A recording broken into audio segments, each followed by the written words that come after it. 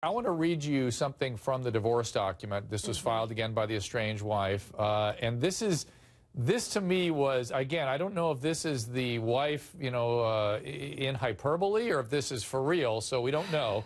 Stephen's therapist subsequently disclosed to me that Stephen has a narcissistic personality disorder with sociopathic tendencies.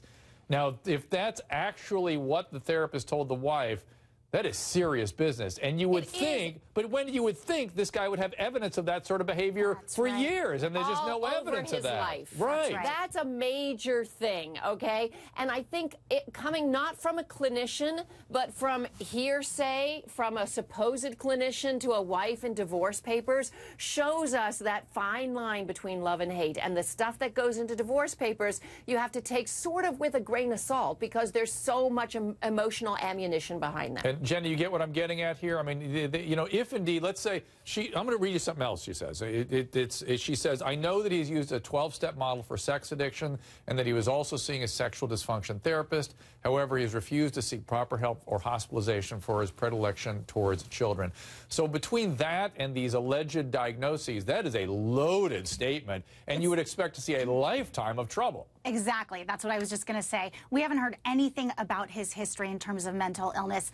Um, but that being said, a lot of times these pedophiles have this very charming personality. They're manipulative, they're good listeners, and, and they seek out control. And this is how they get their victims. We didn't know him that way. You know, we want to know him in the way that we've seen him on Seventh Heaven and television. And I think that that's part of why people are so shocked right now. Jennifer?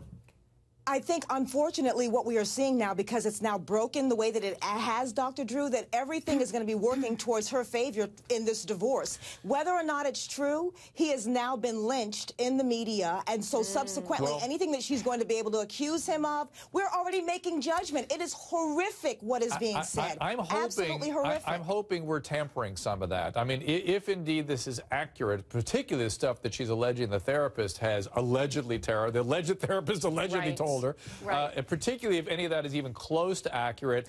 Well, then this is a well-deserved. I mean, Dr. Uh, Drew. What's that? Wendy? Who even knows if this was taped actually in a therapy session? Who even knows if she wasn't just collecting a tape and uh, asking him to read a script uh, one time for a role? We don't know the real context. That's right. we don't know. We don't know anything about anything well, here, and, and it and it certainly is is is not corroborated by people that knew him or worked with him regularly.